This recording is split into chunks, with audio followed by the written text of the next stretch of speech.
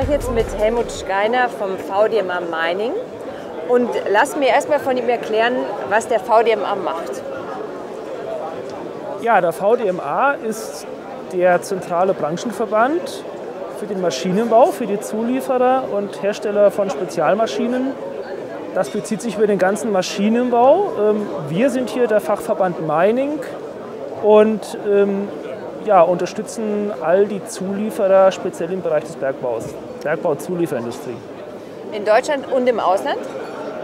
Naja, im Wesentlichen die Hersteller, die hier in Deutschland ansässig sind. Wir kommen ja von der Tradition her vom deutschen Maschinenanlagenbau. Der VDMA öffnet sich zwar auch europaweit, also es können auch neuerdings oder seit zwei Jahren europäische Zulieferer auch Mitglied werden, aber im Wesentlichen dreht es sich hier bei uns um die deutschen Zulieferer, die aber weltweit exportieren.